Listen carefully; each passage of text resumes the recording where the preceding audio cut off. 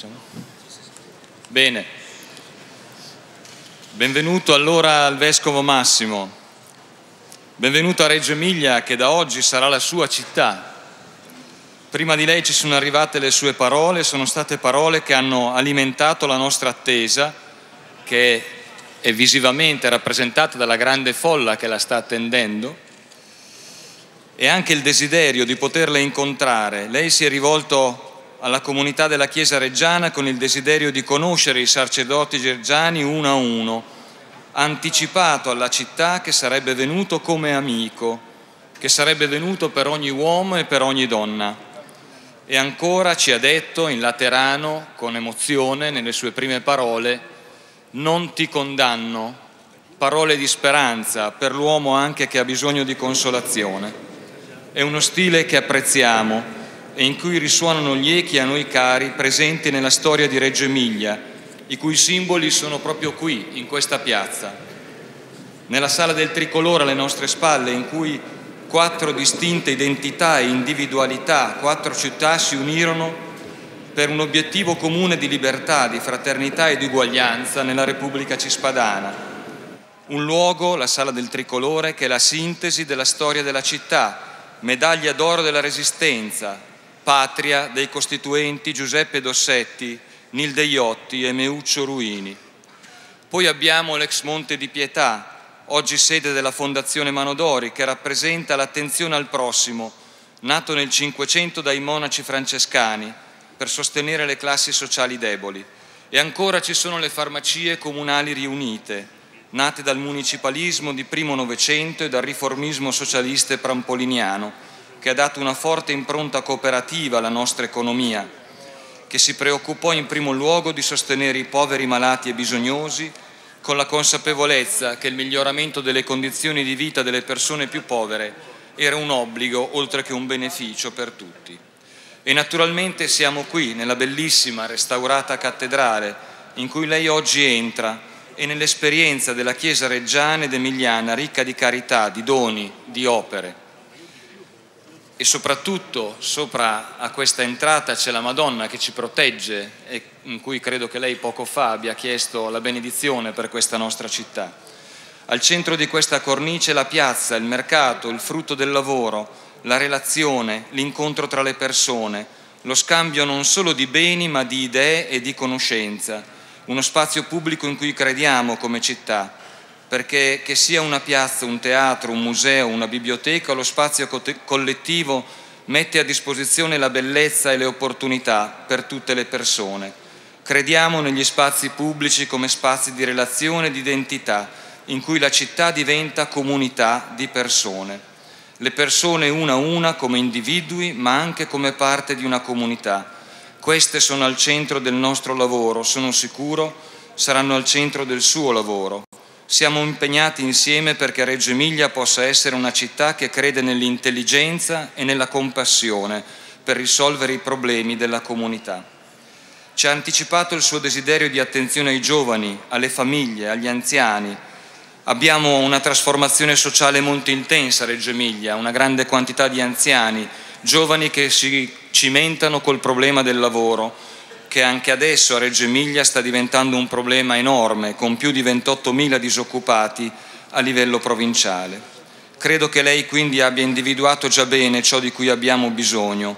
Abbiamo bisogno di educazione, di cultura, di convivenza. Non ci rassegniamo, Monsignor Vescovo, ad aspettare il nostro futuro. I reggiani sono tenaci, vogliono agire perché ci siano più giovani laureati, più opportunità di lavoro, perché nessuno rimanga indietro in questa nostra amata comunità. Il problema del benessere della città non è il problema del sindaco, del vescovo o delle istituzioni, è un problema che riguarda tutti e ciascuno di noi come cittadino ha il diritto dovere di farsi carico e di restituire cura e attenzione così come l'ha ricevuta. E da anni noi stiamo cercando di lavorare per la tenuta e la coesione della città contrastando la tendenza all'isolamento delle famiglie, organizzando punti di riferimento e di collaborazione nei quartieri, naturalmente con grande fatica e impegno, ma anche con importanti segni di ripresa. E in questa azione di rinnovamento, di rivivificazione delle nostre comunità, le parrocchie con la loro attività sono uno dei perni su cui si basa la nostra città. In questo impegno e lavoro di rete per l'istituzione pubblica che rappresento e per la città, il ruolo della Chiesa Cattolica Reggiana è imprescindibile ed è uno dei pilastri su cui si fonda la tenuta della città. È un dono, come un dono è il suo vescovo. Dalle scuole FISM eh, alla Caritas, in, intorno a cui siamo impegnati per l'emergenza freddo, dalle mense del Vescovo, dalle case di carità di Don Mario Prandi, dall'impegno dei servi della Chiesa. Ecco, c'è una Chiesa reggiana vivissima, per questo io auspico che potremo continuare a approfondire quella collaborazione nel rispetto delle reciproche autonomie che caratterizza da decenni Reggio Emilia, con i vescovi Baroni, Gibertini e Caprioli, che ricordiamo con stima e riconoscenza e con l'affettuosa presenza del cardinale Ruini. Noi stessi, come lei ha detto rivolgendosi ai sacerdoti reggiani, siamo interessati ai cittadini reggiani uno a uno. La città del tricolore è anche la città dei cento linguaggi differenti, cioè del riconoscimento della diversità come valore e noi crediamo molto in questo concetto e mi è venuto in mente per la sua accoglienza, visto che lei ha fatto riferimento a Don Giussani, mi è venuto in mente che il Cardinal Biffi nell'87, durante il congresso eucaristico di Bologna, chiamò a parlare Don Giuseppe Dossetti e proprio Don Giussani e, e disse perché nella Chiesa, così come nella società, troppo spesso vi sono polemiche inutili Invece bisogna impararsi a guardare, imparare a guardarsi negli occhi, a comprendersi, a capire che la diversità è una ricchezza, nella Chiesa come nella società. E il cardinale diceva, dopo averli fatti incontrare ho lasciato Giussani e Dossetti soli per tre ore e poi ho visto Don Giussani uscire commosso perché aveva visto che Don Dossetti aveva inserito anche la sua comunità nelle intenzioni di preghiera costanti.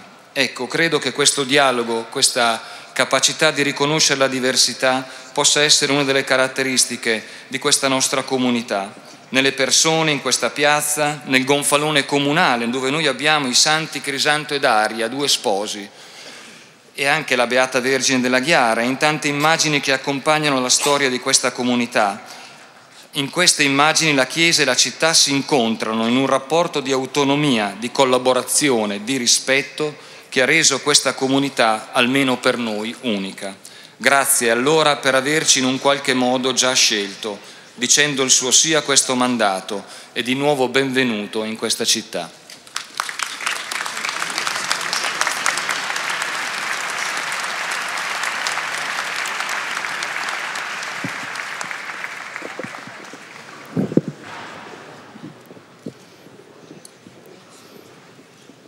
Anche per il freddo io sarò breve, ma sarà molto sentito quello che le dirò. Eh, benvenuto fra noi, caro Monsignor Camisasca, vescovo di Reggio Emilia. Ogni donna e ogni uomo reggiano l'accoglie come amico. Siamo certi che il nostro benvenuto sia il benvenuto di tutti i reggiani. Reggio Emilia è per tradizione una terra ospitale, che ha fatto e fa dell'accoglienza uno dei suoi tratti distintivi.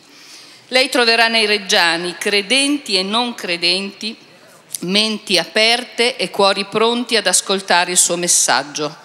Troverà donne, uomini e tanti giovani disponibili ad impegnarsi per gli altri, per il bene della collettività. È questa da generazioni la forza della nostra terra, è questo lo spirito che l'anima cioè mettere le scelte comuni davanti a quelle individuali. La Chiesa ed il suo Vescovo, come ci dimostra la storia di questa diocesi, ne sono parte essenziale.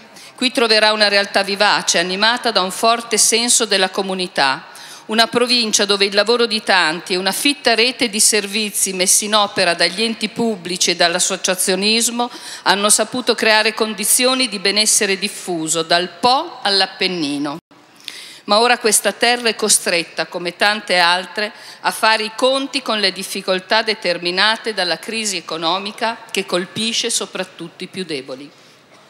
Ella da oggi È pastore di una terra ricca di fascino, di storie e di tradizioni che tanto ha dato al nostro Paese per affermare i valori fondamentali come la libertà e la democrazia e che è impegnata in ogni sua articolazione a cercare un futuro dignitoso e di pace.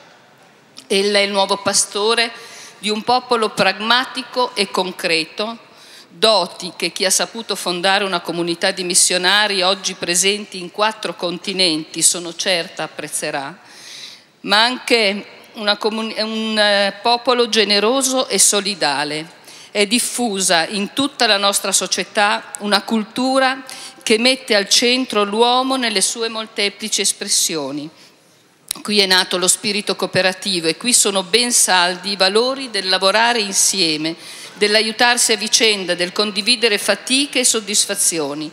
Qui si è sviluppato un meraviglioso sistema di associazionismo e di volontariato in grado di aiutare chi ha bisogno e di fronteggiare al meglio le emergenze. È stato il caso dell'ultimo terremoto che ci ha così duramente colpiti. Noi abbiamo fondato gran parte del nostro impegno sul rispetto della persona e dei diritti che ciascuno ha, indipendentemente dall'estrazione sociale, dal credo politico e religioso, dal colore della pelle. Nessuno in questa terra si deve sentire solo. Su questo fronte la Chiesa reggiana si è sempre dimostrato un interlocutore attento, sensibile, pronto alla collaborazione e siamo certi che continuerà ad esserlo. Anche questa crisi economica, io credo, potrà essere superata solo se sapremo non rimanere chiusi in, se, in noi stessi, se non ci arrenderemo alla paura, se non diventeremo incapaci di parlarci. Questa comunità non deve sfilacciarsi e disgregarsi perché questo significherebbe avviarsi verso il declino.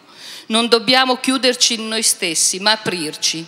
Più allargheremo il sacco, più riceveremo, ci ricorda Sant'Agostino e l'aiuto che a nome dei Reggiani mi sento di chiederle è dunque quello di sostenere la nostra comunità a continuare ad aprirsi, tenendo ben salde le regole del vivere civile apprese dalla Costituzione dell'Europa democratica, con il suo carico di storia e di cultura e di lezioni apprese dalle tragedie che l'hanno attraversata. Il 2013 è stato dichiarato dall'Unione Europea anno dei cittadini europei, con riferimento ad un patrimonio di diritti e di doveri unici nel panorama globale. Dentro quel patrimonio vediamo la possibilità di collaborare in maniera proficua per la costruzione di una società più buona e giusta, come ella ha voluto ricordarci nella sua prima lettera alla diocesi di Reggio Emilia e Guastalla, rivolgendo ogni possibile sforzo per aiutare i giovani, le famiglie e chi vive solo, a partire dagli anziani, e per sostenere i malati, i poveri innanzitutto.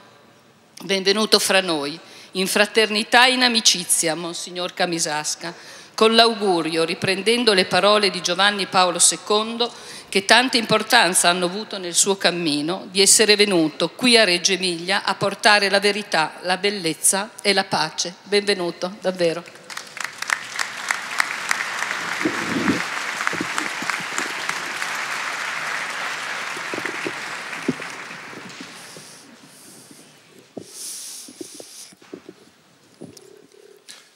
Carissimo signor Sindaco, carissima signora Presidente della provincia, beh, già vostri, dalle vostre parole e dai vostri discorsi ho capito che se forse per il mese di dicembre Reggio è una città fredda, i reggiani sono caldi, sono vivi, sanno esprimere con molta forza e convincimento ciò in cui credono e che vivono. Grazie, perché mi sono sentito subito a casa mia.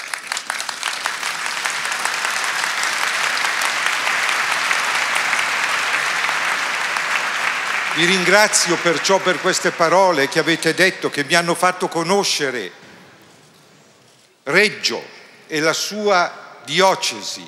Dalle vostre parole ho conosciuto tante cose di Reggio e della diocesi. Prendo canonicamente possesso di questa Chiesa ora e divento parte di questo popolo e nuovo cittadino di questa città, la città del tricolore. Grazie di accogliermi come vostro cittadino. su questa piazza c'è la cattedrale e c'è il palazzo del comune. Il nostro sindaco già ricordava tutta questa realtà e questa simbologia. È la traduzione urbanistica, questa compresenza tipica delle nostre terre e di tante parti d'Italia di un principio di distinzione e di collaborazione, che è una delle conquiste che l'Italia medievale e comunale ha regalato al mondo. Un'espressione visiva del principio che Gesù ha portato nella civiltà. Date a Cesare ciò che è di Cesare e a Dio ciò che è di Dio. È un principio che i popoli oppressi dagli imperi andavano cercando in quelle parole di Gesù, date a Cesare ciò che è di Cesare, il volto di Cesare è stato per un piccolo tempo sulle monete ebraiche, ma Dio ciò che è di Dio, e cioè la vostra vita, perché voi siete l'immagine di Dio. In quelle parole c'era la negazione di ogni pretesa degli imperi sull'uomo, la negazione di ogni teocrazia, che pretende di anticipare in questo tempo la definitiva manifestazione del regno di Dio e impone forme di culto identificando comunità civile e religiosa. Da allora Gesù ha affermato per la storia questo principio laico della distinzione, ma in quelle parole c'era anche l'affermazione di una condanna della fede ridotta a credenza privata. Date a Dio quello che è di Dio, la vostra vita. Una fede ridotta a credenza interiore, nascosta, senza la tensione a esprimersi nella vita in ogni campo dell'umano.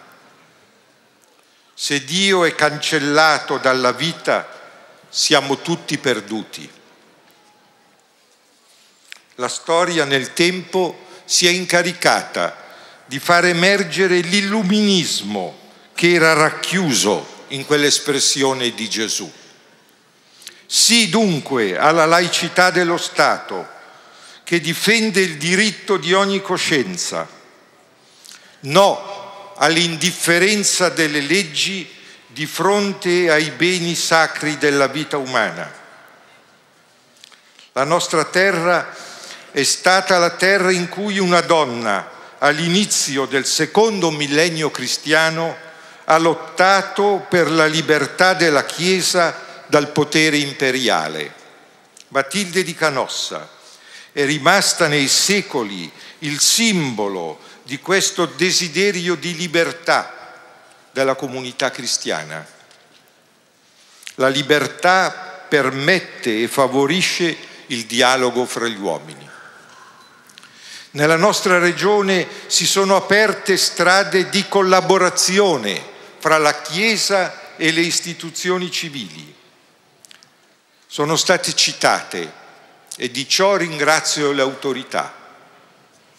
Espressione di questo sono le tante strutture educative e caritative messe a disposizione dei cittadini il desiderio di contribuire al bene della società civile si è reso visibile anche a livello culturale, nella riflessione promossa dalla nostra Chiesa negli anni a noi vicini sul bene comune, che è stato al centro di importanti convegni. La Chiesa non ha responsabilità di governo nella società civile, ma collabora efficacemente alla sua vita attraverso la rigenerazione della persona umana, nella fede, nella speranza e nella carità. Il cristiano rimane un peccatore, ma porta dentro di sé la tensione al cambiamento del proprio cuore e perciò dei rapporti con i propri fratelli, uomini e donne. È questo il contributo più importante che la Chiesa può dare il cambiamento del cuore degli uomini, da cui nascono anche i cambiamenti nelle strutture, la continua generazione di un'umanità nuova. È come una linfa vitale che dovrebbe irrorare i tessuti più nascosti della società civile. Egregio signor Sindaco e cara Presidente della provincia, offro tutta la mia e nostra collaborazione alle istituzioni civili, politiche e amministrative della nostra città e della nostra regione. Camminiamo insieme. A nome della Chiesa di Reggio Emilia Guastalla vi dico nella fedeltà al Signore, nell'amore senza compromessi alla verità, vogliamo essere i collaboratori della gioia di tutti i nostri fratelli che abitano su questa terra. Grazie di cuore.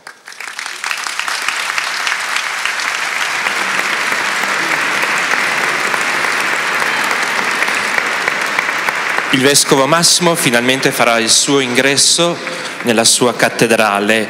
Verrà accolto dall'Arcivescovo Metropolita di Modena, il nostro Arcivescovo, Monsignor Lanfranchi, e dal Priore del capitolo Monsignor Marmiroli.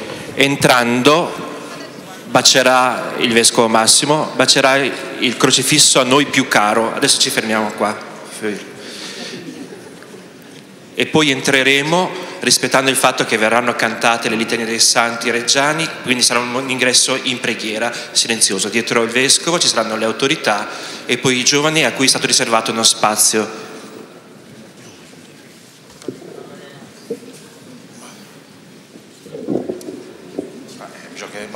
Il sacerdote alzasse in piedi.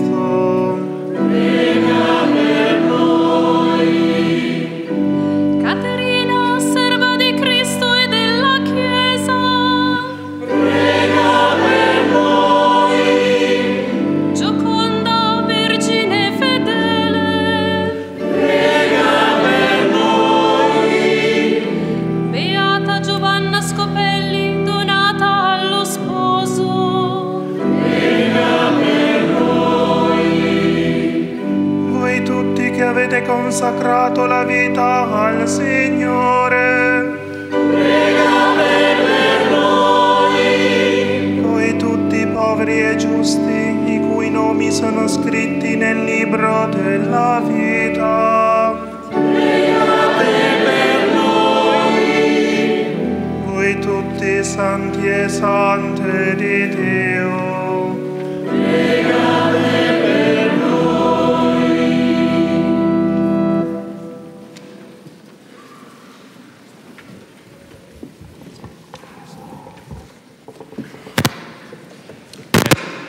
In attesa dell'inizio della processione introitale ci possiamo accomodare.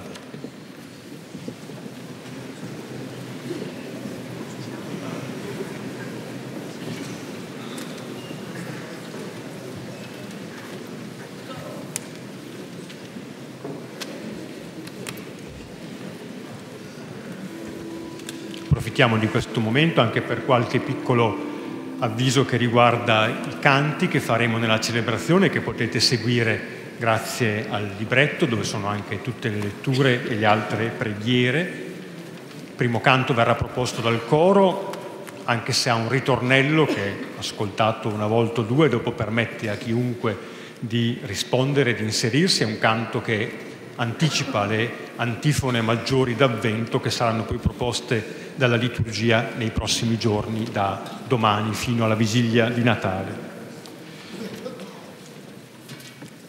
Il salmo responsoriale eh, lo faremo in questo modo, canteremo subito tutti insieme dopo aver sentito la melodia del ritornello, appunto il ritornello, che poi il coro continua a cantare sottovoce e possiamo anche unirci al coro però cantando sottovoce mentre eh, il solista canterà i versetti del Salmo e alla fine di nuovo canteremo a voce piena eh, il ritornello.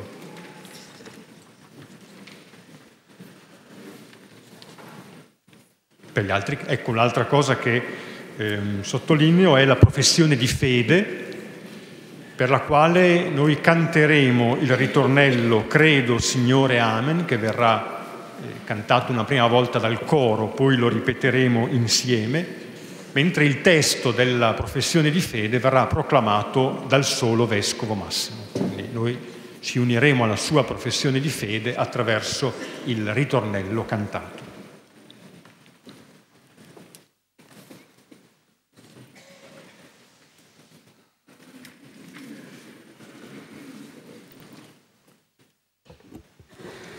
In questa liturgia che abbiamo già avviato invocando su di noi l'intercessione dei santi, accogliendo il Vescovo Massimo che ci ha asperso con l'acqua a ricordo del nostro battesimo, la nostra Chiesa di Reggio Emilia Guastalla accoglie con gioia il suo nuovo pastore che oggi inizia il suo ministero episcopale.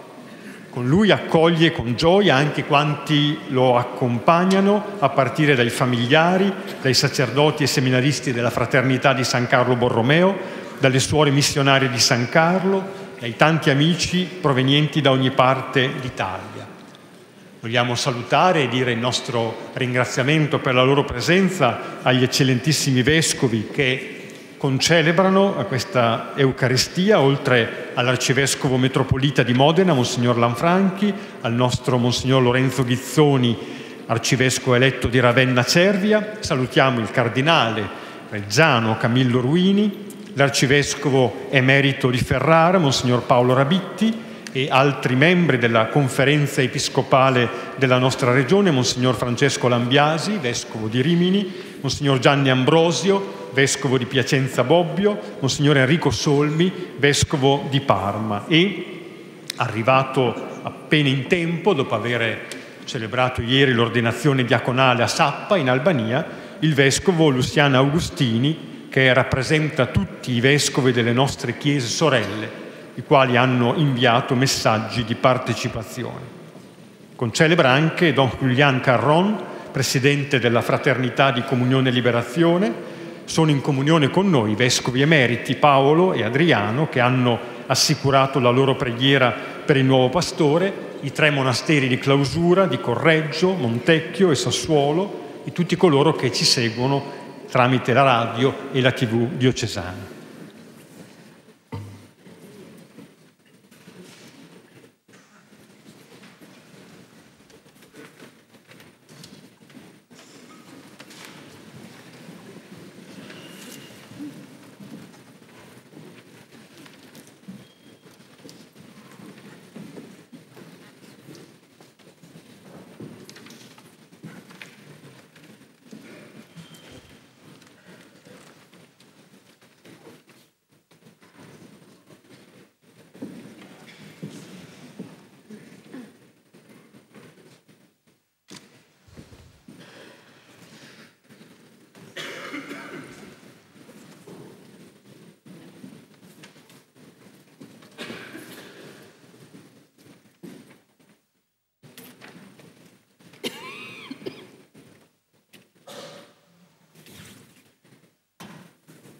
Ci alziamo in piedi iniziamo la nostra celebrazione.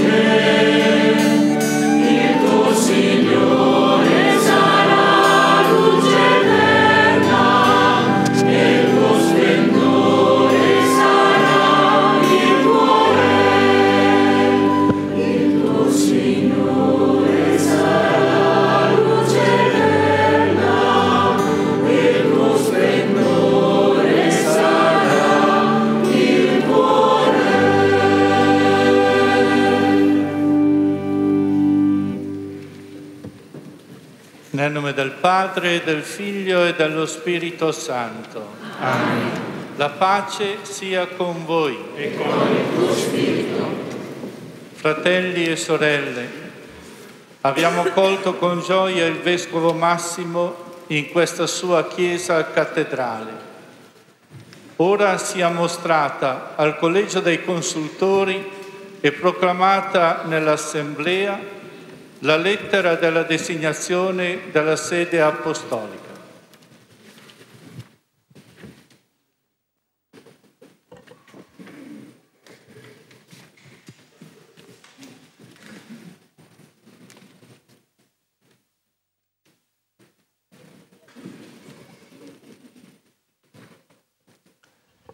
Ci possiamo accomodare.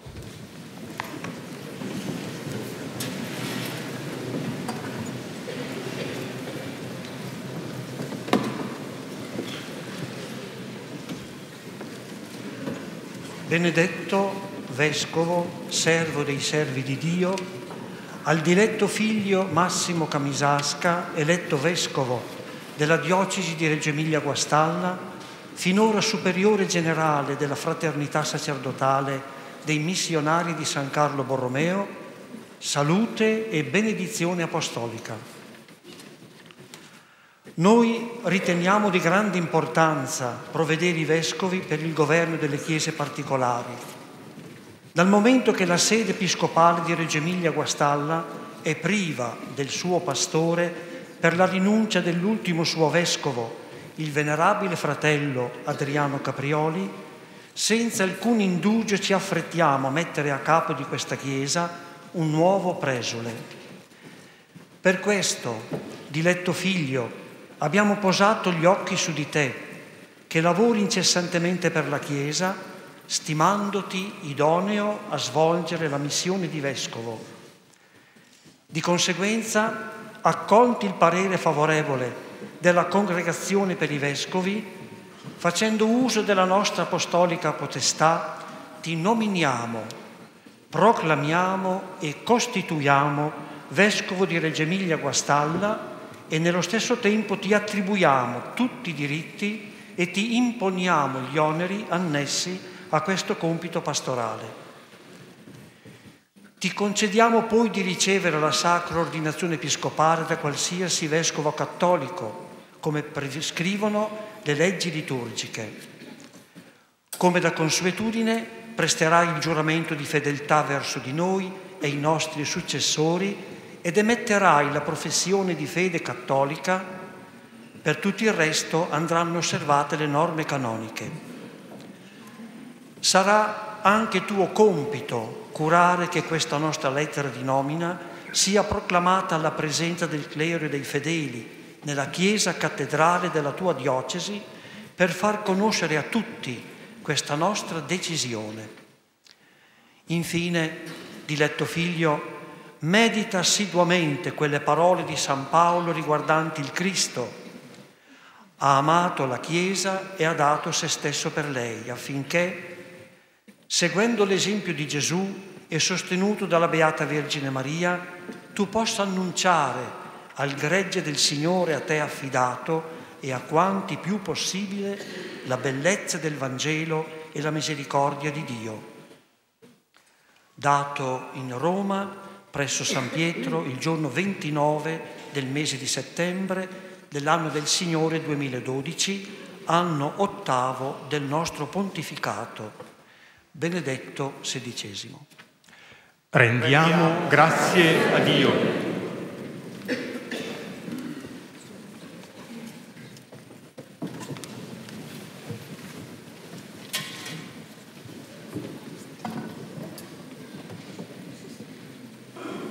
Venerato fratello Massimo, presiedi dunque nel nome del Cristo questa santa Chiesa che è in Reggio Emilia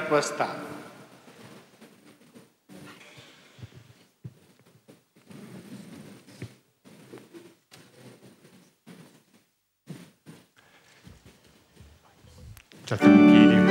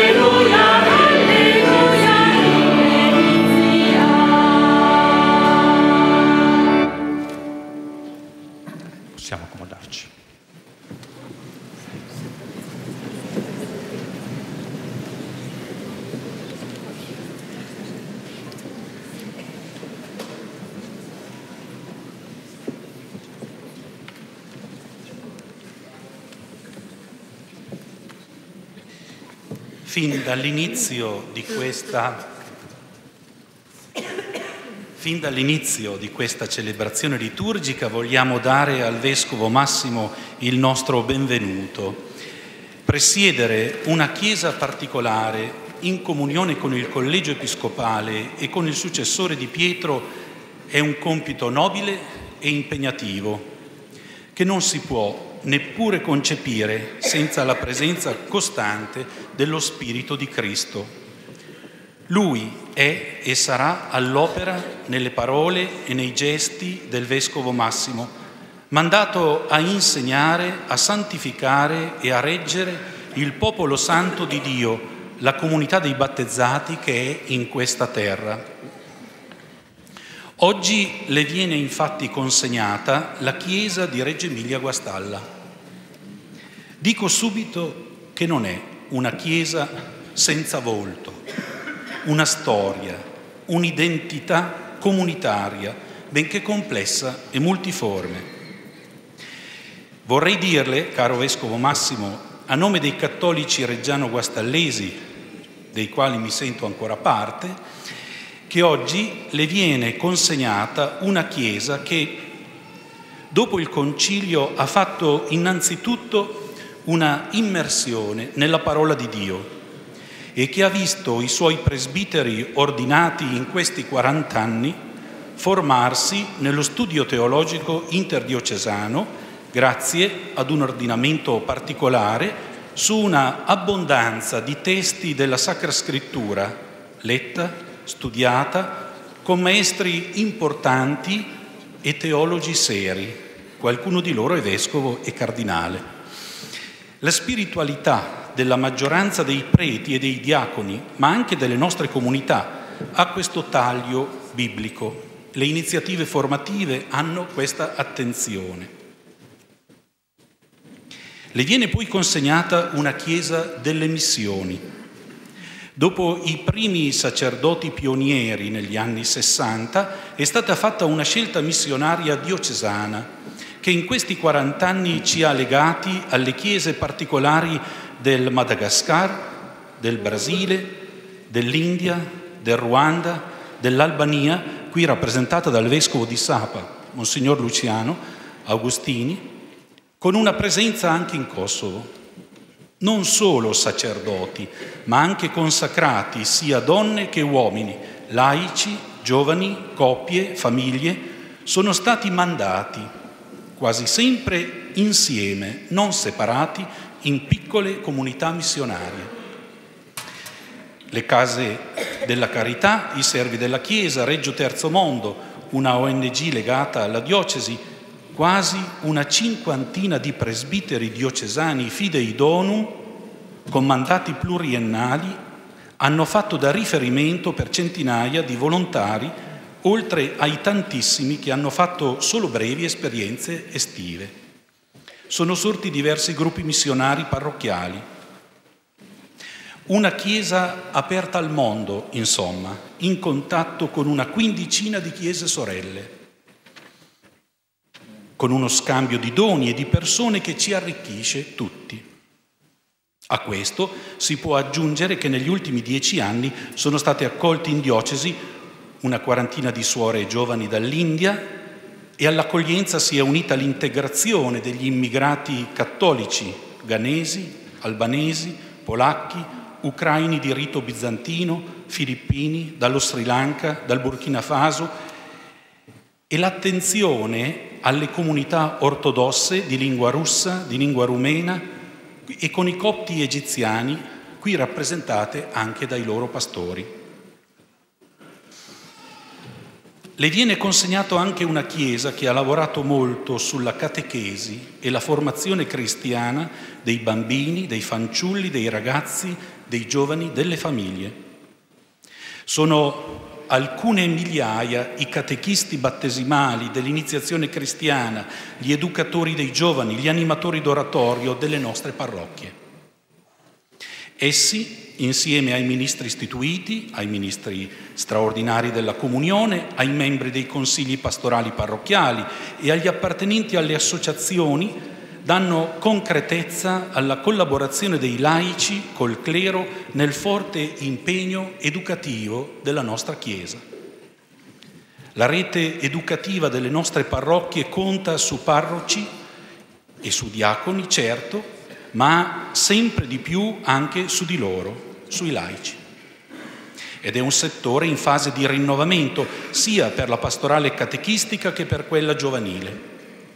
Laici in prima linea sono anche quelli impegnati nei mass media, con il settimanale della libertà, il sito internet, la radio e i servizi tv diocesani, e ancora quelli impegnati nella valorizzazione del nostro patrimonio artistico e culturale e quelli che hanno portato ormai a compimento la prima storia della diocesi. Le viene anche consegnata una Chiesa che ha valorizzato la liturgia come culmine e fonte della vita cristiana. I suoi vescovi, Monsignor Baroni, vescovo del Concilio, Monsignor Gibertini, monaco benedettino, Monsignor Caprioli, docente e presidente della Commissione Episcopale della CEI per la liturgia, hanno dato un grande rilievo alla formazione liturgica e all'applicazione della riforma conciliare. Inoltre, una formazione speciale l'hanno ricevuto i presbiteri e i diaconi ordinati in questi ultimi 40 anni, che ha loro permesso di avere un approccio teologico, storico, patristico ai tesori che la tradizione ci ha consegnato. Passati i primi anni del post-concilio, non abbiamo più visto particolari travisamenti né eccessi, ma anzi una ricerca costante di approfondimento, con la formazione di molti animatori, non solo sulla musica e il canto per la liturgia, grazie all'Istituto Diocesano dal 1976 e alla rivista Celebrare Cantando del, dal 93, ma anche sui contenuti teologici, spirituali e normativi della liturgia.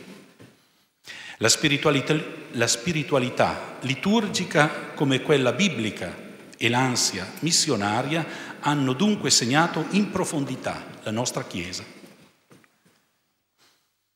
Le consegniamo oggi anche una Chiesa della carità, questa mattina lo abbiamo visto, che ha avuto sì dei personaggi con forti carismi, dei fondatori, ma che ha adottato in generale una pastorale caritativa con una serie di opere che, che, la caratterizzano rispetto alle altre chiese.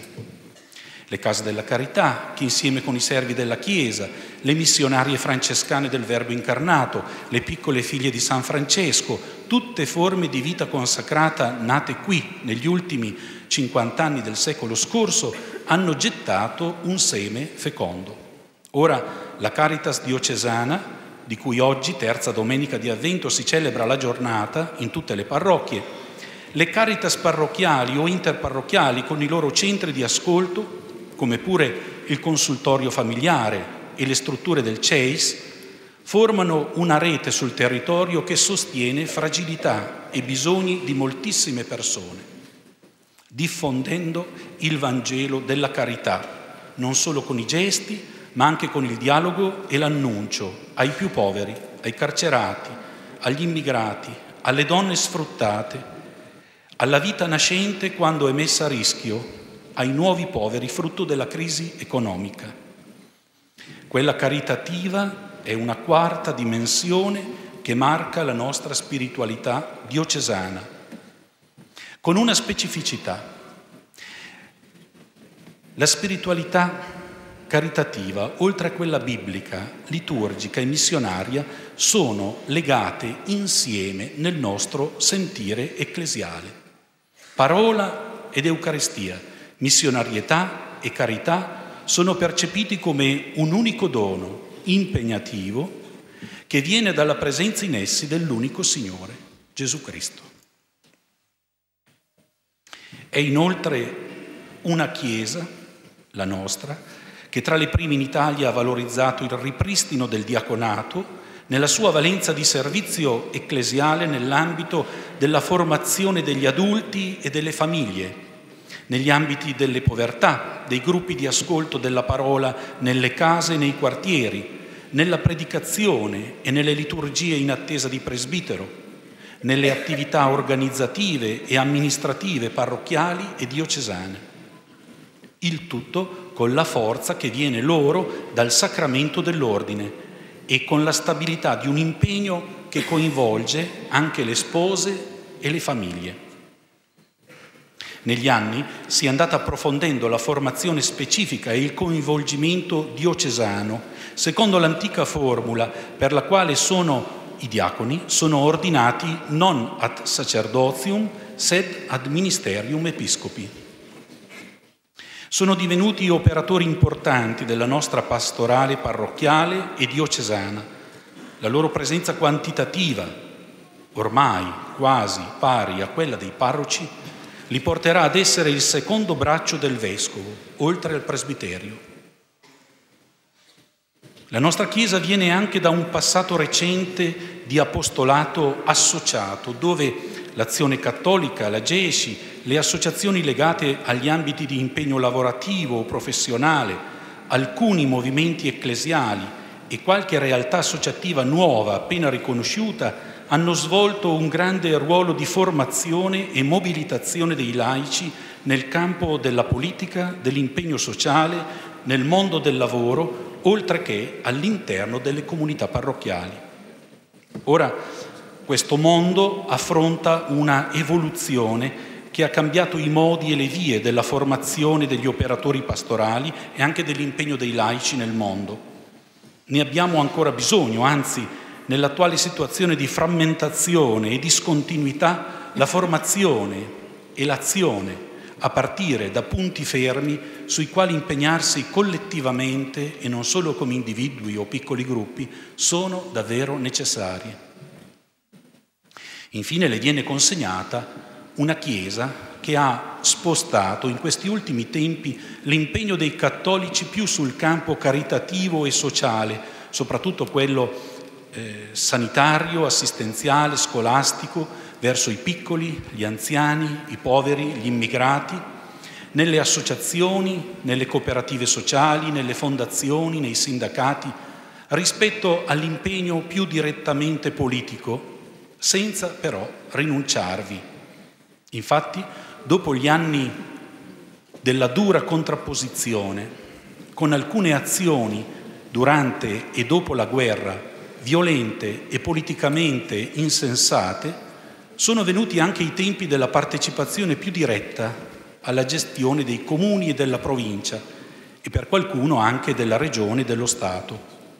I cattolici sono presenti oggi in tutte le amministrazioni, ma anche nelle opposizioni. L'unità sui punti fermi della dottrina sociale cristiana e sul dovere di praticare l'arte politica solo dopo una formazione culturale e spirituale significativa sono aspetti sui quali abbiamo iniziato a lavorare insieme, pastori e laici, ma resta ancora molto da fare.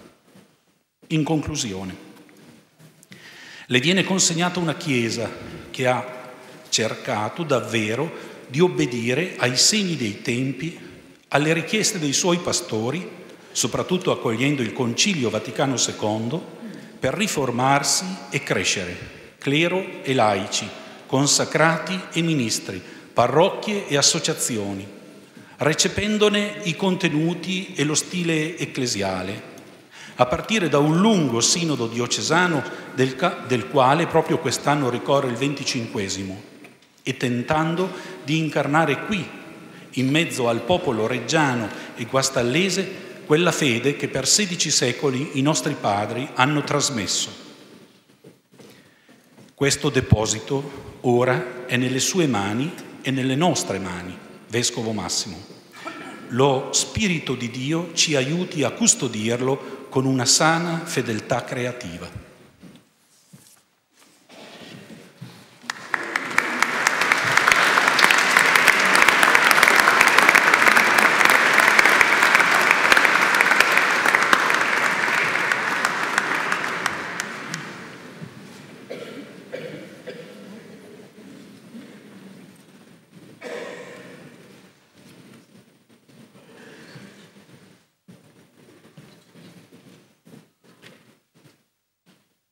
Eccellenza, noi fedeli di Reggio Emilia Guastalla oggi esultiamo per il dono che il Signore ci ha riservato nella sua persona e ci sentiamo veramente Chiesa attorno a lei, memori delle parole di Sant'Ignazio ai fedeli di Smirne, dove compare il Vescovo, là sia la comunità, come là dove c'è Gesù Cristo, ivi è la Chiesa Cattolica.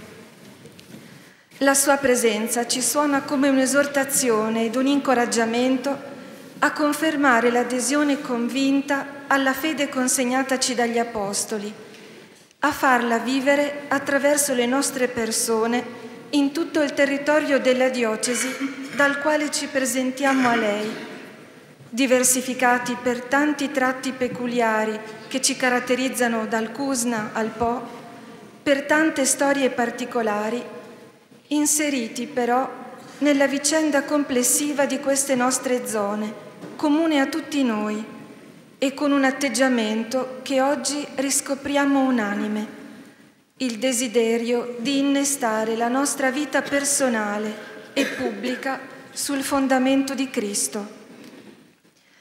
Di noi, chi ci conosce per vicinanza geografica, spesso afferma che siamo laboriosi ma caparbi e chi ci ha amministrato nei secoli passati ci ha definiti gente difficile e talora irriducibile. Le vicende storiche sono eloquenti in se stesse, ma proprio nella storia si legge che noi reggiani abbiamo avuto la città salva per la preghiera del vescovo Prospero e la mediazione di Maria, Madre del Signore, alla quale con fede ci siamo affidati e di cui il Tempio della Ghiara si innalza a ricordo perenne e grato. Oggi vogliamo affidare alla sua guida proprio i tratti salienti della nostra indole, per farli tendere verso le mete che il Signore ci mette dinanzi.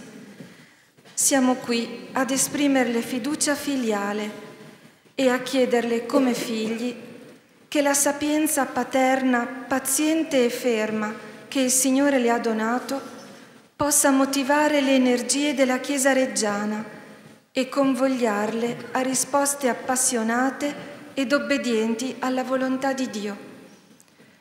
Siamo qui a esprimerle il nostro affetto sostanziato dalla comunione, nella quale l'Eucaristia ci inserisce, ma anche dal profondo desiderio di condividere la vita del nostro prossimo futuro comune.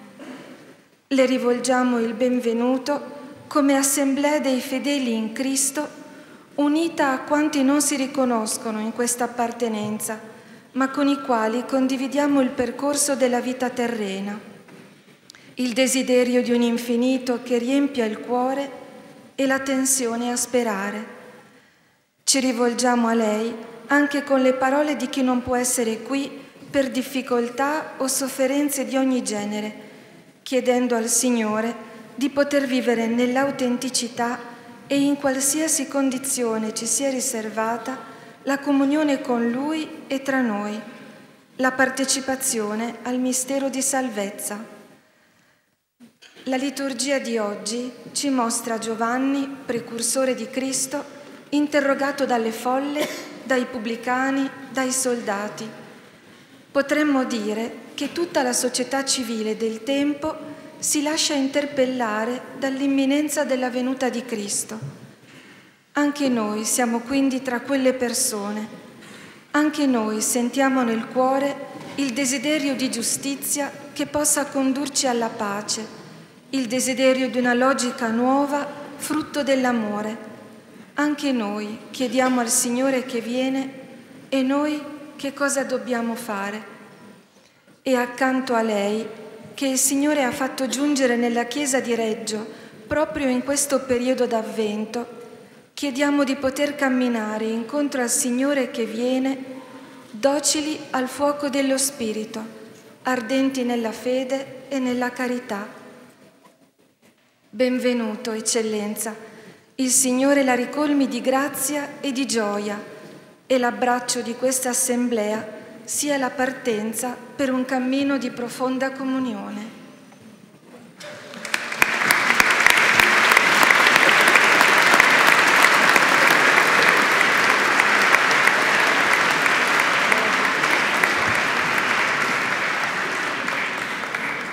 Il Vescovo Massimo riceve ora il saluto di una rappresentanza di tutte le componenti della nostra Chiesa, il Collegio dei Consultori e i Vicari Episcopali, i Vicari Foranei in rappresentanza del clero e dei fedeli degli undici vicariati, il Segretario del Consiglio Diaconale con un altro diacono con incarichi diocesani, il Segretario dei Religiosi in rappresentanza anche degli istituti secolari, la Segretaria delle Religiose, la Segretaria dell'Ordo Virginum a nome della vita consacrata, un seminarista, la segretaria del Consiglio pastorale diocesano, il segretario della consulta delle aggregazioni laicali, il segretario della Caritas e la presidente della mensa del vescovo, una famiglia in cui lo sposo e papà diventerà diacono il prossimo 13 gennaio insieme ad altri 12, una rappresentanza delle case della carità, una rappresentanza dei cresimandi e dei catechisti della iniziazione cristiana. Accompagniamo questo momento con il canto del Salmo Il Signore è il mio pastore.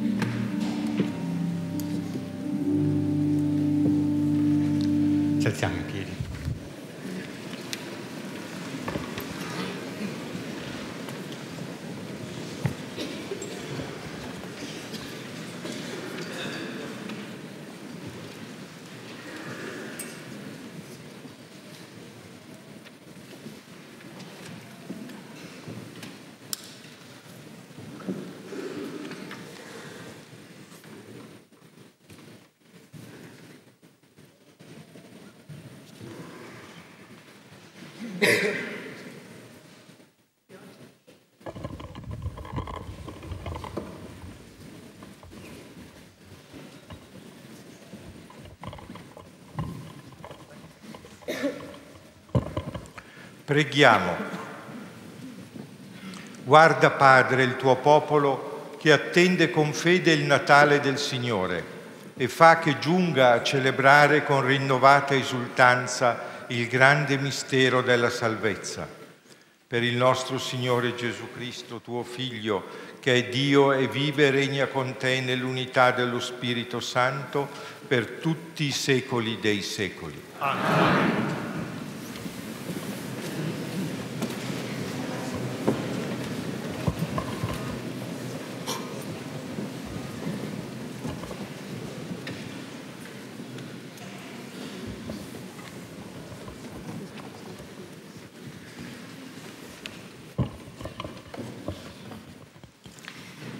Dal libro del profeta Sofonia.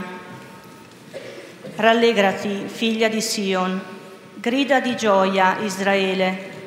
Esulta e acclama con tutto il cuore, figlia di Gerusalemme. Il Signore ha revocato la tua condanna, ha disperso il tuo nemico. Re di Israele è il Signore in mezzo a te.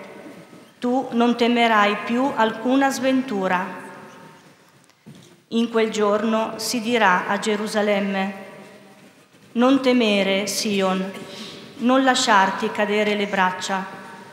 Il Signore, tuo Dio, in mezzo a te è un Salvatore potente.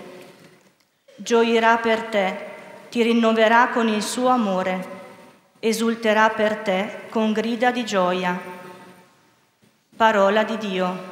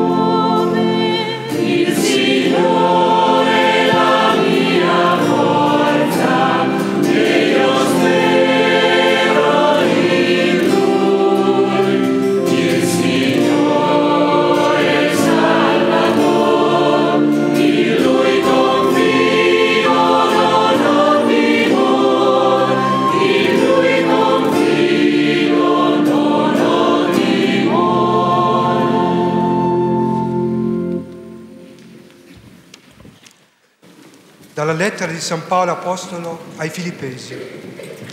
Fratelli, siate sempre lieti nel Signore, ve lo ripeto, siate lieti. La vostra amabilità sia nota a tutti, il Signore è vicino. Non angustiatevi per nulla, ma in ogni circostanza fate presenti a Dio le vostre richieste, con preghiere, suppliche e ringraziamenti. E la pace di Dio, che supera ogni intelligenza, custodirà i vostri cuori e le vostre menti in Cristo Gesù. Parola di Dio. Prendiamo.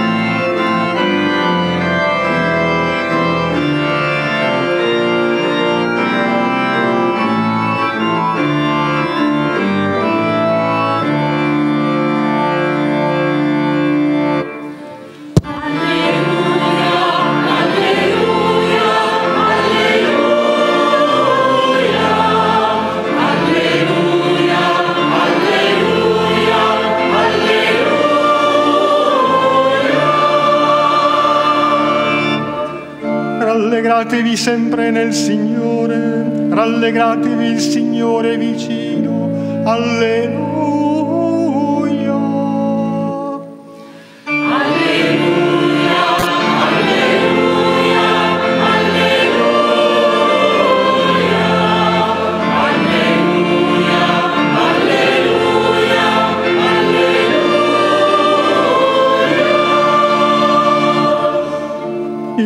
Cristo quando verrà vi battezzerà in Spirito Santo e fuoco. Alleluia.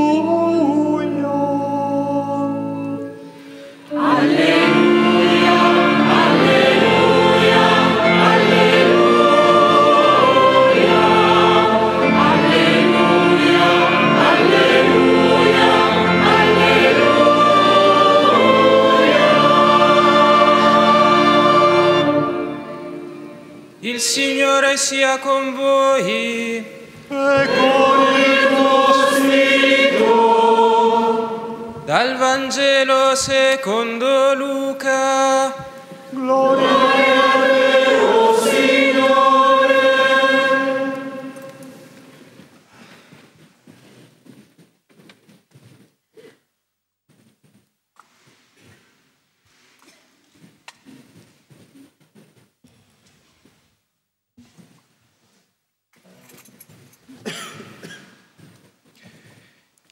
In quel tempo le folle interrogavano Giovanni dicendo, che cosa dobbiamo fare?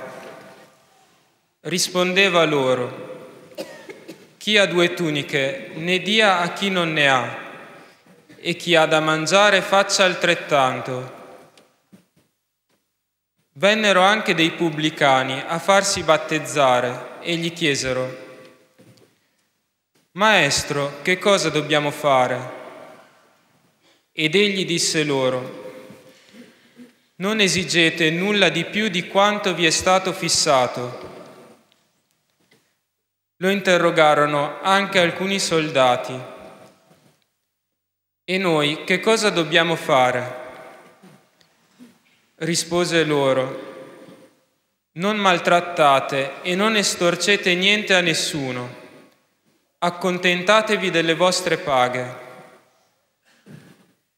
Poiché il popolo era in attesa e tutti, riguardo a Giovanni, si domandavano in cuor loro se non fosse lui il Cristo, Giovanni rispose a tutti dicendo, Io vi battezzo con acqua, ma viene colui che è più forte di me a cui non sono degno di slegare i lacci dei sandali. Egli vi battezzerà in Spirito Santo e fuoco.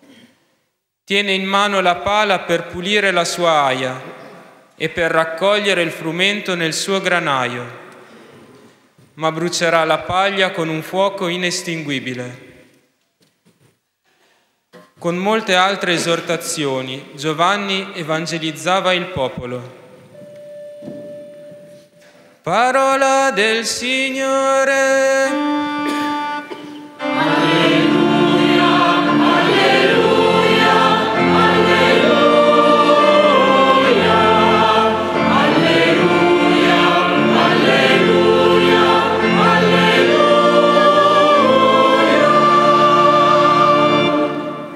Lo Spirito del Signore sopra di me mi ha mandato a portare ai poveri il lieto annuncio. Alleluia.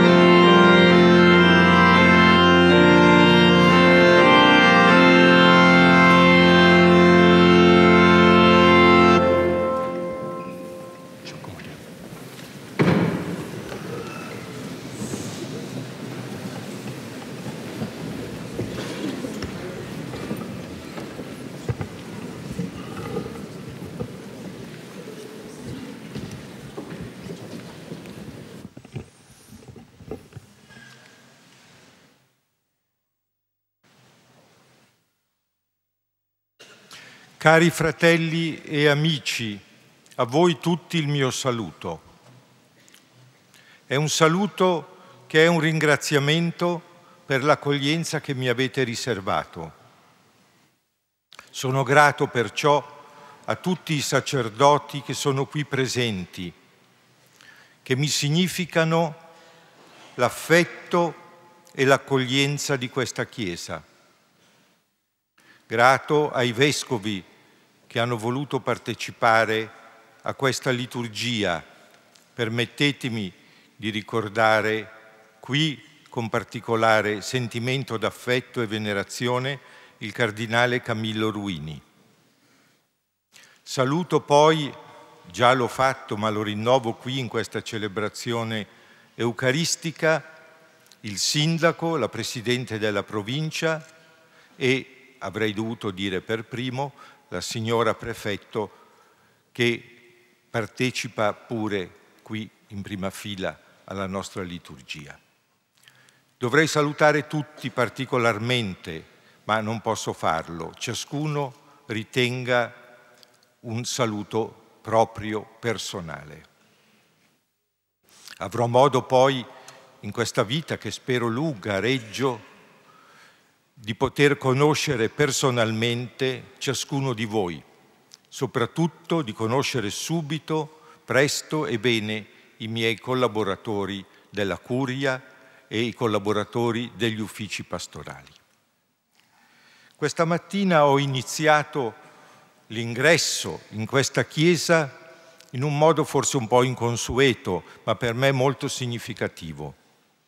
Sono stato all'ospedale psichiatrico giudiziario e ho detto fra l'altro queste parole. Io vengo qui perché il vescovo è colui che Cristo manda per cercare ogni uomo, per andare dall'uomo solo, dall'uomo malato, dall'uomo disperato, dagli sconosciuti del dolore. E questo orizzonte totale che sento come orizzonte più vero della mia missione qui tra voi, a credenti e non credenti, a giovani e ad adulti, a uomini e a donne, a uomini e donne nati in questa terra o qui sopravvenuti per ragioni di lavoro o di fuga dalle loro terre. A tutti il mio saluto. Sono stato poi alla, al centro della Caritas, alla mensa e al poliambulatorio. È stato per me un altro incontro significativo. Ho voluto dire un'altra parola sulla missione del Vescovo.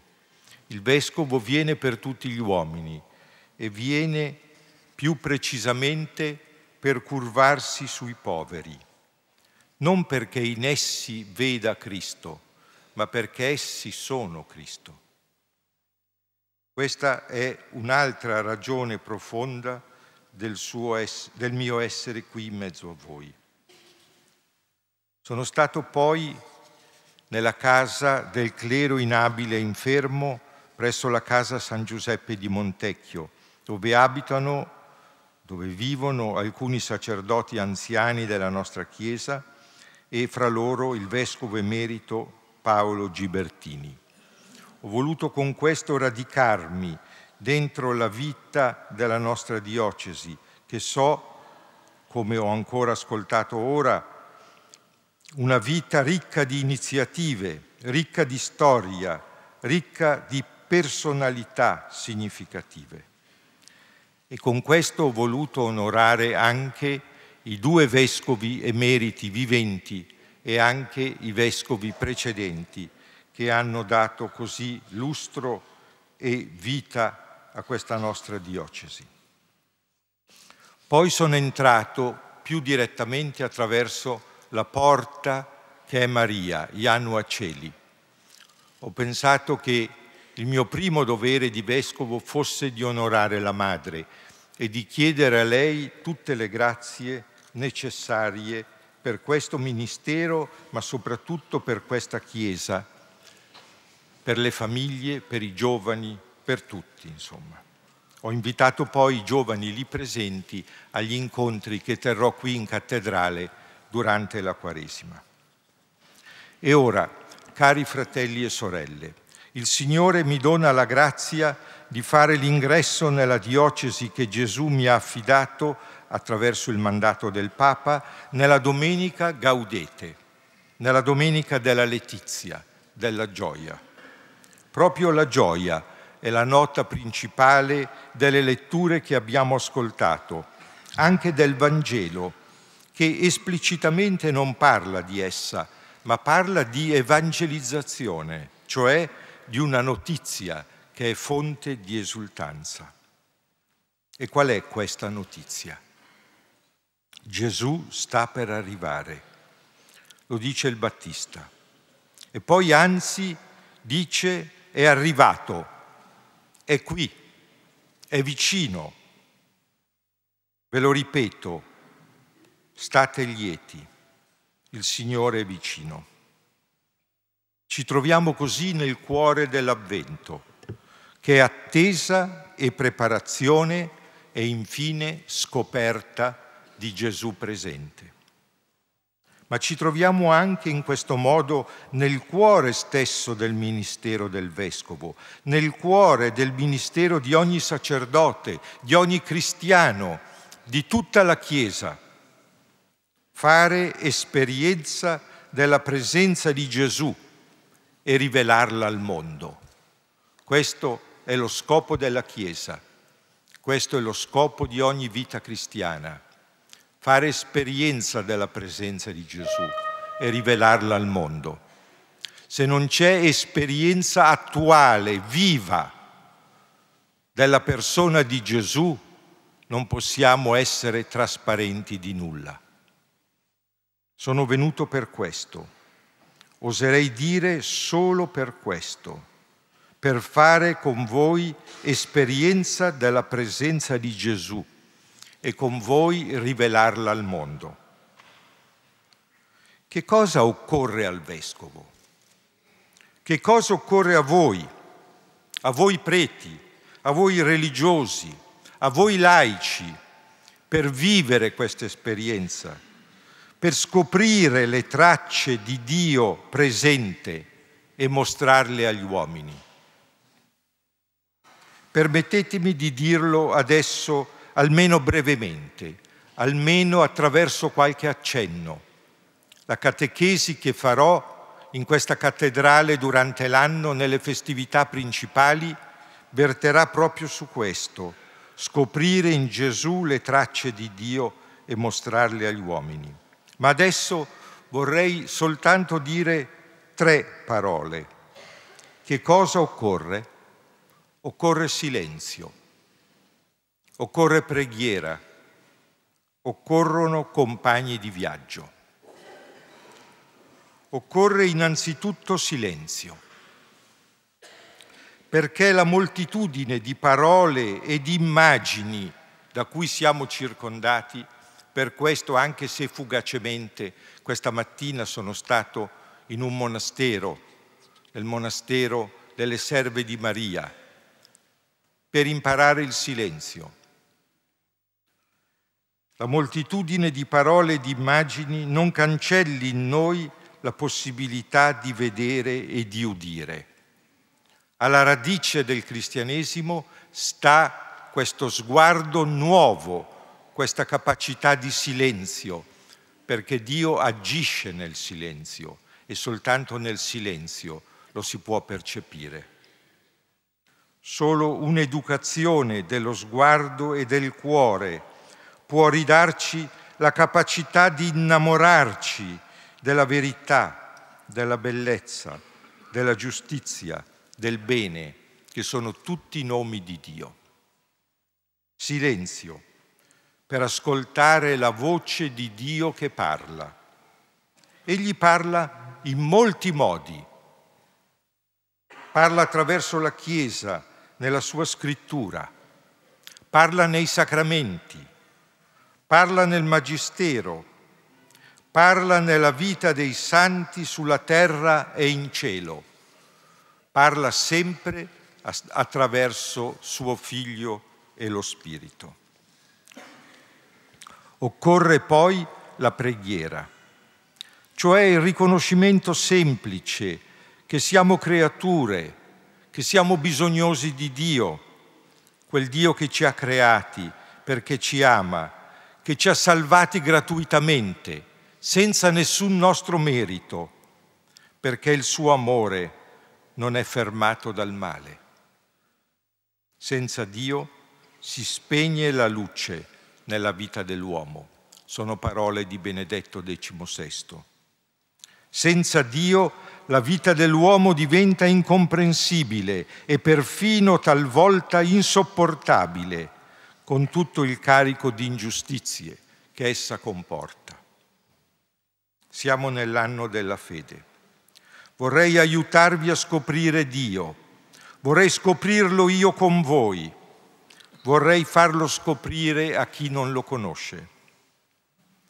Vorrei aiutarvi a scoprire il Padre, colui da cui veniamo, a cui andiamo, colui che guida la nostra vita, senza sostituirsi alla nostra libertà, ma che è provvidente e misericordioso.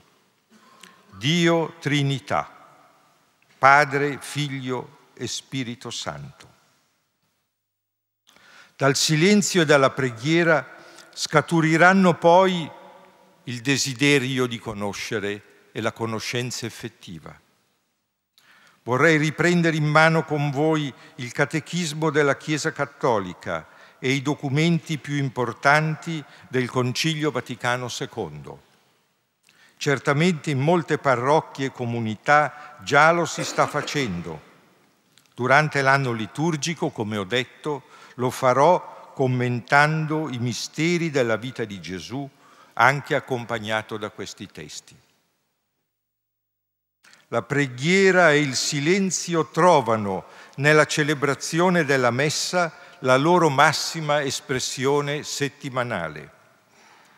Desidero vivere con voi la liturgia, avendo come stella polare l'insegnamento del nostro Papa Benedetto XVI.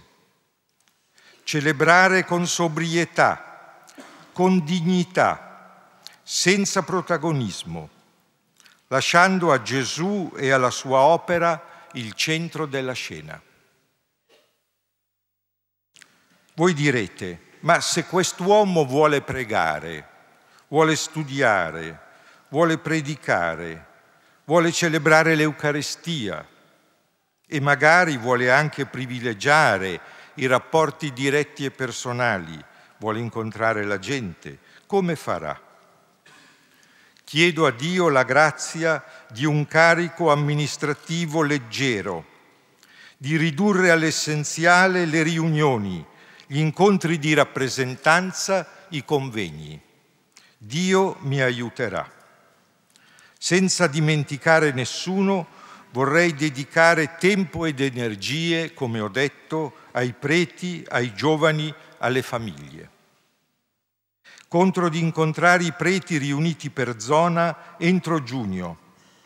I giovani durante la Quaresima, come ho accennato, le famiglie nelle mie visite alle parrocchie, ma già domenica 30 dicembre qui in cattedrale nei Vespri della Sacra Famiglia. Ho detto infine che occorrono i compagni di viaggio. Dio ci chiama personalmente, ma non ci lascia individui isolati, chiusi in un dialogo intimistico con Lui. Dio ci chiama per far parte del suo popolo e il suo è un popolo eucaristico, formato da tante comunità radunate attorno al Vescovo, nell'obbedienza al suo ministero e in comunione col Vescovo di Roma. Compagni di viaggio sono tante persone a cui la nostra vita è legata e come consegnata nella comunione cristiana. Penso alle famiglie, alle parrocchie, alle comunità religiose, sacerdotali, agli istituti religiosi, alle compagnie vocazionali, alle amicizie cristiane, alle associazioni, ai movimenti, alle comunità laicali, insomma a tante e tante diverse forme canoniche ed esistenziali, ma che sono l'espressione di un unico principio. A Dio si va come membra del suo popolo, pellegrino nel tempo verso l'Eterno.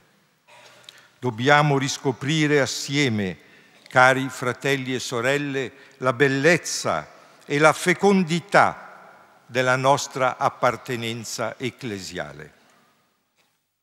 È tempo ora di proseguire la nostra liturgia. Vorrei ritornare alla parola dell'inizio. La Chiesa ci invita alla letizia. Ma è possibile l'esperienza della letizia nel nostro tempo, nelle nostre condizioni di vita? Rifletteremo e ritorneremo molte volte su questo. È possibile, quando il nostro cuore è occupato dalla realtà del dolore, della fatica, dell'assenza di lavoro, quando siamo terremotati, quando siamo soli, quando tutto sembra perdere valore. Dobbiamo tornare a riconoscere la realtà annunciata dai profeti e, del, e dall'Apostolo. Dio si è fatto uomo per esserci vicino, per essere incontrabile, per essere familiare. Non angustiatevi allora, ma fate presenti a Dio le vostre necessità. Il Signore ha revocato la nostra condanna, non temeremo più alcuna sventura. Chiesa di Reggio Emilia Guastalla, non lasciarti cadere le braccia. Il Signore tuo Dio in mezzo a te è un Salvatore potente esulterà di gioia per te, ti rinnoverà con il suo amore. Diciamo perciò assieme, mia forza e mio canto è il Signore. Amen.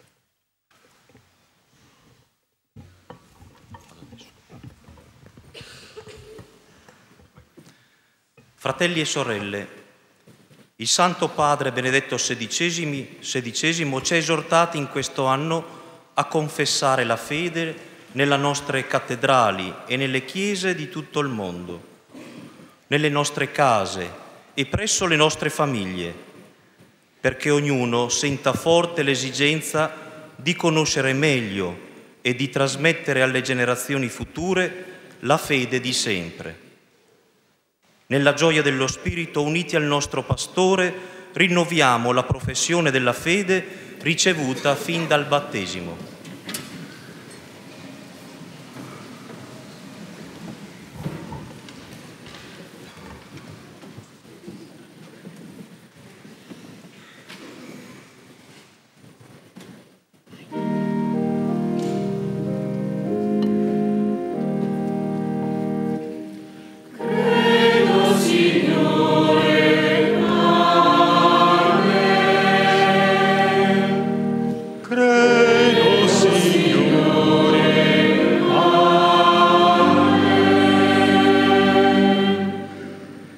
Credo in Dio, Padre Onnipotente, Creatore del cielo e della terra.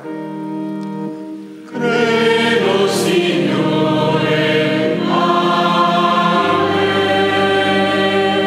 Credo in Gesù Cristo, suo unico Figlio, nostro Signore, il quale fu concepito di Spirito Santo, nacque da Maria Vergine, patì sotto Ponzio Pilato, fu crocifisso, morì e fu sepolto, discese agli inferi, il terzo giorno risuscitò da morte, salì al cielo, siede alla destra di Dio, Padre Onnipotente, di là verrà a giudicare i vivi e i morti. Credo, Signore.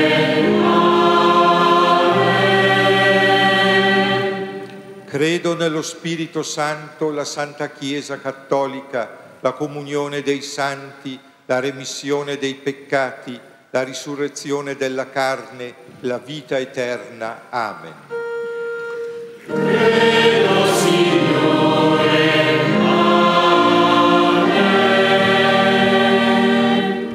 Questa è la nostra fede, questa è la fede della Chiesa e noi ci gloriamo di professarla in Cristo Gesù, nostro Signore. Amen.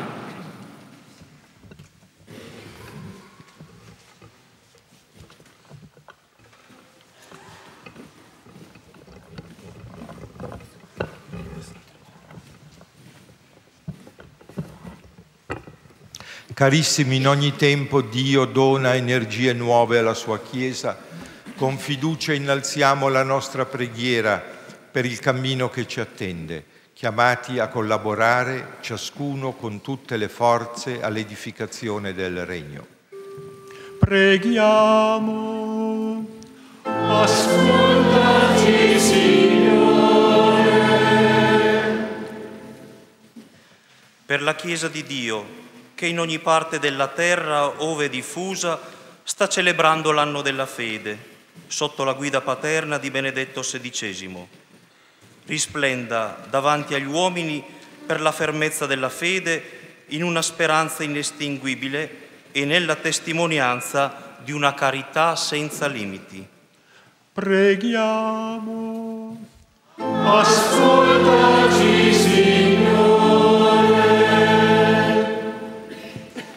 Vescovo Massimo, chiamato a presiedere la Chiesa di Reggio Emilia e Guastalla. Dio lo sostenga col suo amore, perché ci edifichi con la parola e con l'esempio il popolo a lui affidato e possiamo giungere insieme alla vita eterna. Preghiamo. Ascoltaci, Signore. per i presbiteri e i diaconi, per i consacrati e i missionari, per i seminaristi, gli sposi e le famiglie, per coloro che offrono preghiera, tempo ed energie a servizio delle comunità cristiane, in particolare per i nostri monasteri di Correggio, Montecchio e Sassuolo, perché la nostra Chiesa cresca nella ricchezza dei doni dello Spirito e nelle vocazioni di cui abbiamo bisogno per un rinnovato annuncio del Vangelo oggi. Preghiamo. Ascoltaci, Signore. Per la pace del mondo intero e la salvezza di tutti gli uomini.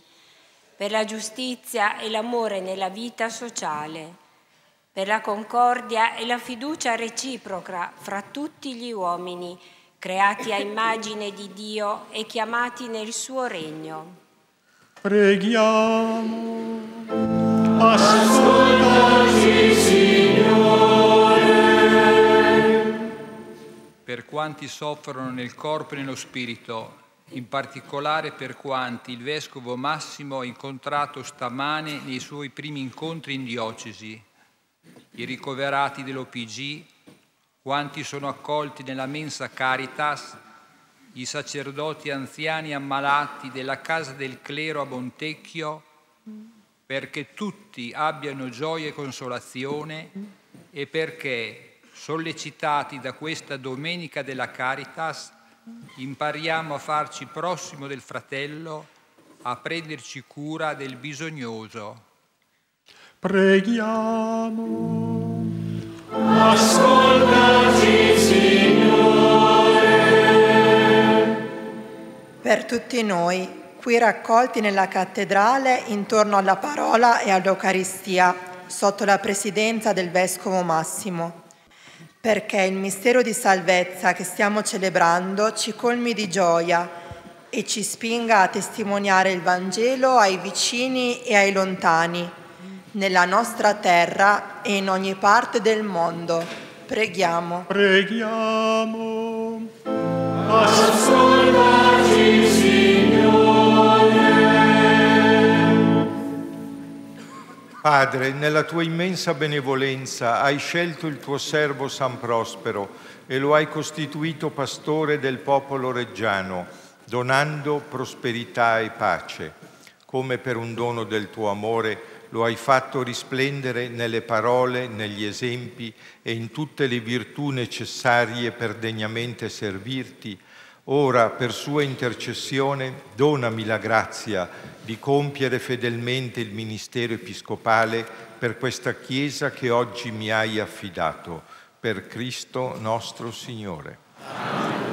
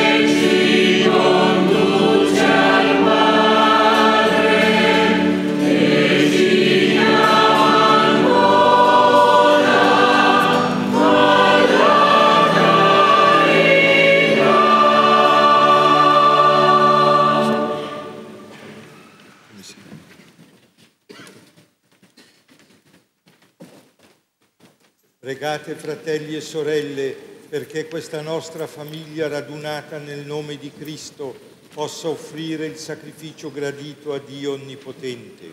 Il Signore riceva dalle mani questo sacrificio, a lode e gloria del suo nome, per il bene nostro e di tutta la sua santa Chiesa.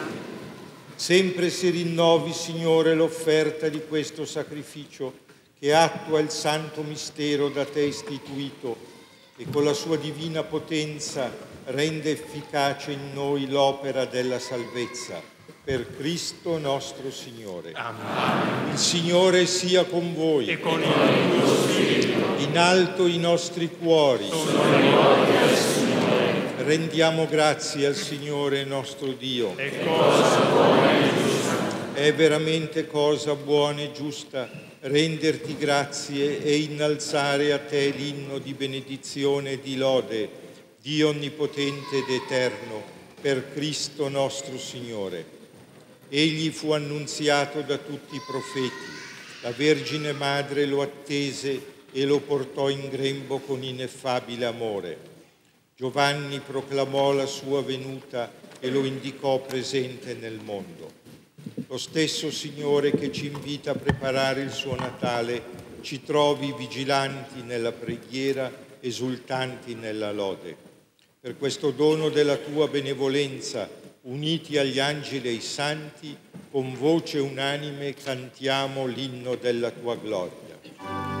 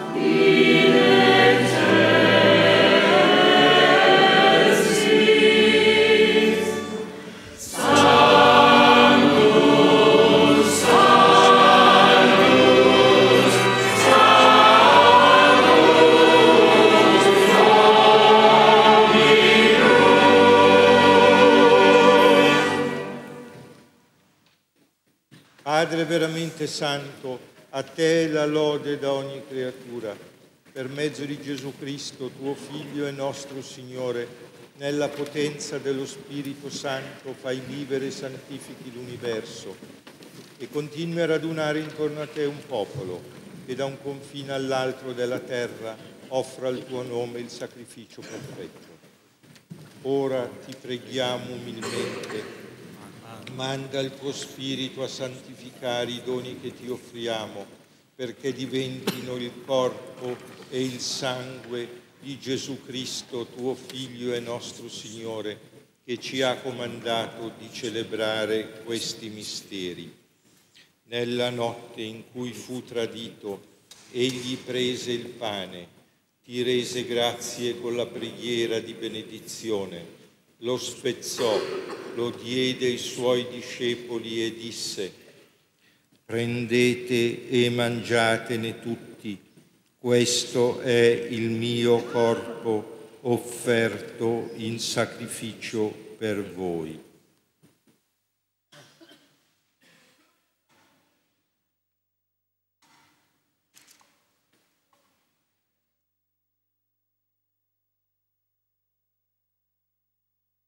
Dopo la cena, allo stesso modo prese il calice, ti rese grazie con la preghiera di benedizione, lo diede ai suoi discepoli e disse, prendete e bevetene tutti, questo è il calice del mio sangue per la nuova ed eterna alleanza, versato per voi e per tutti in remissione dei peccati. Fate questo in memoria di me.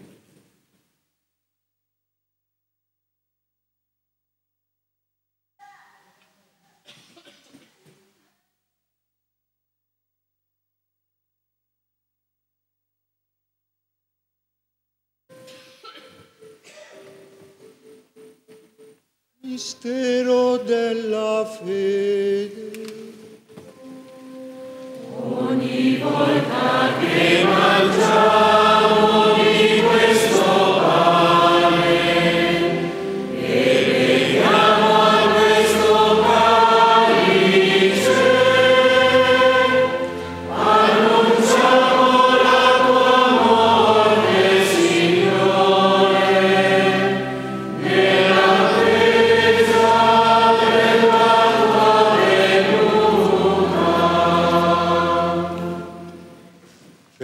celebrando il memoriale del tuo Figlio, morto per la nostra salvezza, gloriosamente risorto e sceso al cielo, nell'attesa della sua venuta, ti offriamo, Padre, in rendimento di grazie, questo sacrificio vivo e santo.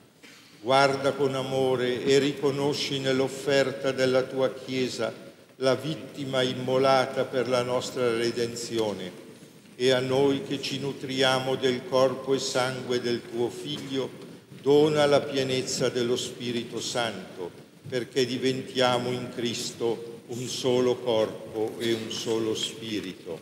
Egli faccia di noi un sacrificio perenne a te gradito, perché possiamo ottenere il regno promesso insieme con i tuoi eletti, con la Beata Maria, Vergine e Madre di Dio, con i tuoi santi apostoli, i gloriosi martiri Crisanto ed Aria, San Prospero, San Francesco e tutti i santi i nostri intercessori presso di te. Per questo sacrificio di riconciliazione dona Padre pace e salvezza al mondo intero. Conferma nella fede e nell'amore la tua Chiesa pellegrina sulla terra, il tuo servo e nostro Papa Benedetto, il nostro Vescovo Massimo, il Collegio Episcopale, i presbiteri, i diaconi e il popolo che tu hai redento. Ascolta la preghiera di questa famiglia che hai convocato alla tua presenza. Nel giorno in cui il Cristo ha vinto la morte e ci ha resi partecipi della sua vita immortale, ricongiunge a te, Padre misericordioso, tutti i tuoi figli ovunque dispersi. Accogli nel tuo regno nost- le nostre sorelle e i nostri fratelli defunti, i vescovi che fino a Gilberto Baroni hanno servito questa Chiesa,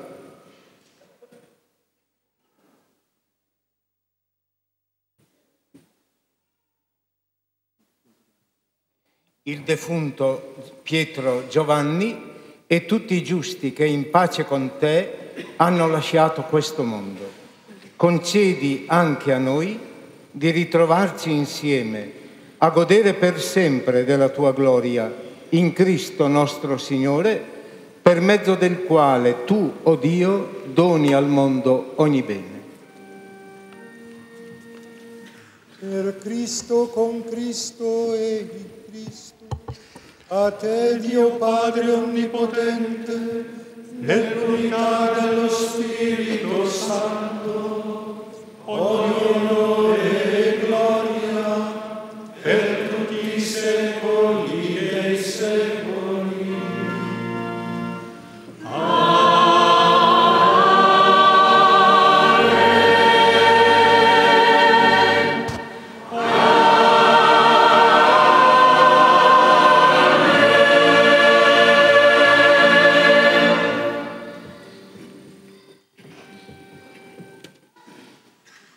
soggetti alla- al comando del Salvatore e formati al suo divino insegnamento, osiamo dire.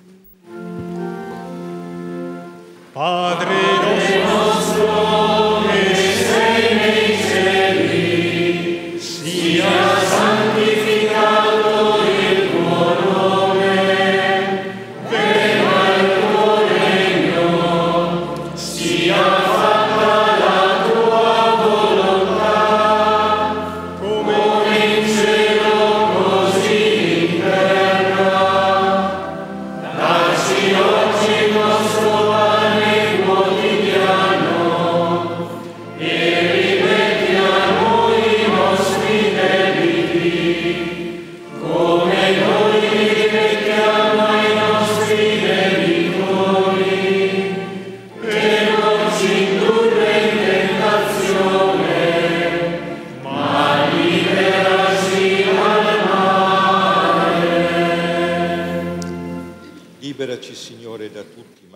concedi la pace ai nostri giorni e con l'aiuto della tua misericordia vivremo sempre liberi dal peccato e sicuri da ogni turbamento, nell'attesa che si compia la beata speranza e venga il nostro Salvatore Gesù Cristo.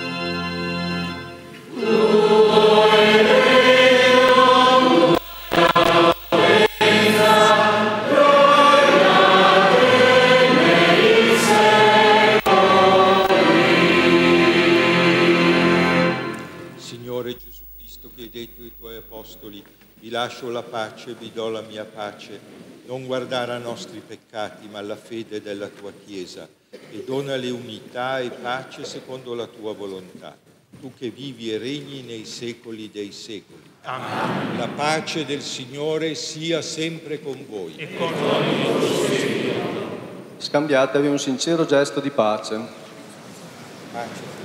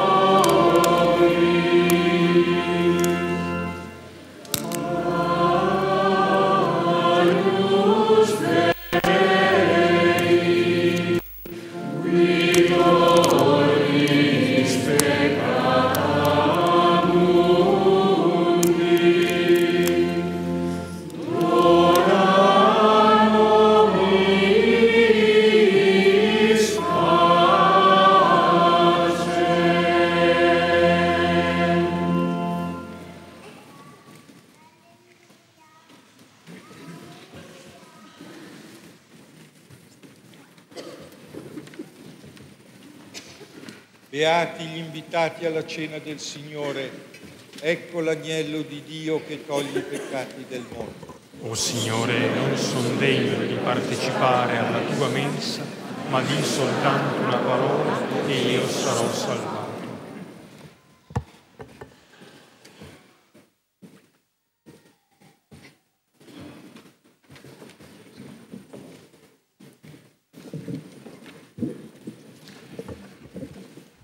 ci sarà un punto di distribuzione della comunione con le particole speciali per i celiaci, come al solito, ai piedi della cappella del Santissimo Sacramento. Ce ne sarà un altro in corrispondenza dell'altra cappella, dell'altra navata, quella della Giovanna Scopelli.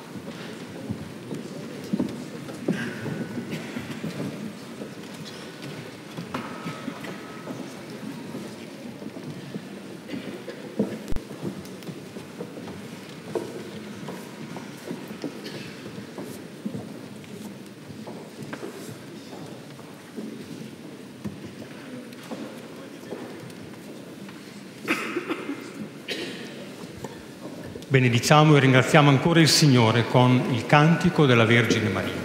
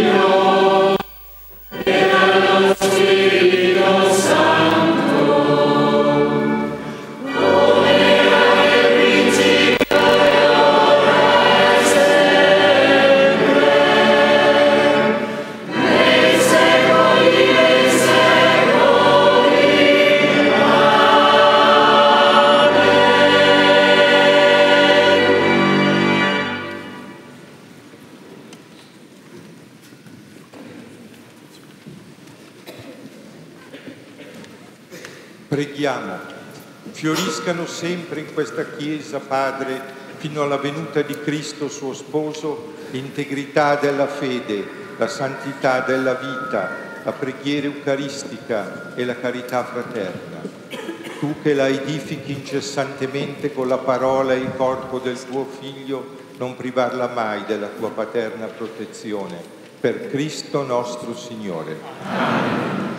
Al termine della celebrazione, per poter salutare il Vescovo Massimo, siamo invitati non a fermarci qui in chiesa o nelle sagrestie, ma a recarci nel seminario di Viale Timavo, dove il Vescovo ci raggiungerà dopo essere passato a salutare gli altri 700 fedeli che sono in San Prospero e potremo così fare festa un po' con lui.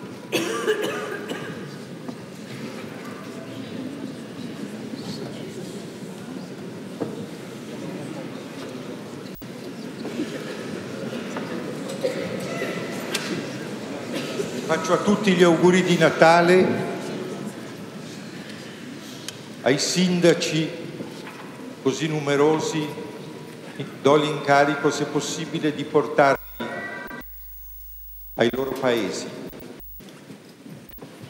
A tutti quanti la gioia e la benedizione del Signore.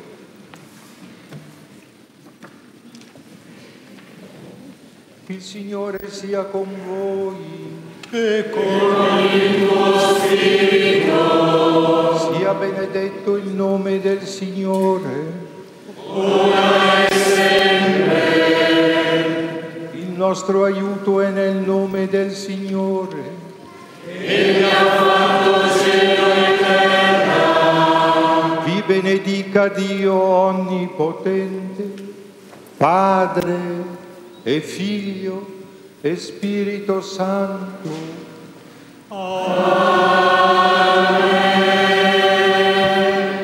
Testimoniate il Signore con la vostra vita, andate in pace. Amen.